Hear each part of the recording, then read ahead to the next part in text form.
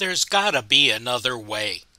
If you are a newbie to 3D printing and are reluctant to invest your time learning complicated CAD software to create simple models, well, yes, there is another way. Microsoft's PowerPoint. PowerPoint has powerful drawing tools we can use to create useful two-dimensional objects for model railroading. But few people know that these objects can be converted into 3D models for extrusion on entry-level 3D printers, and this clinic shows you how this can be done.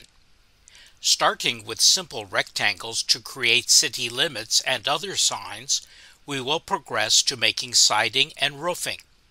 Using normally hidden PowerPoint tools, we will punch holes in shapes to create windows.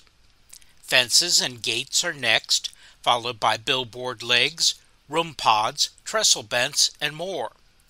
We will also demonstrate little known PowerPoint tricks to add and remove points in a shape, as well as alter the path of curved lines.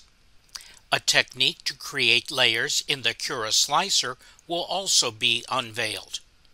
Finally, we will get over our fears of CAD software and show how to be productive using PowerPoint with Tinkercad to create even more sophisticated 3D models with only six minutes of instruction.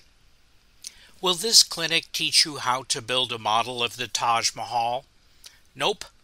But it might show you how to build a doghouse, a shed, or a pavilion for a park. You might even discover you too can use 2.5D CAD to model unique objects for your model railroad.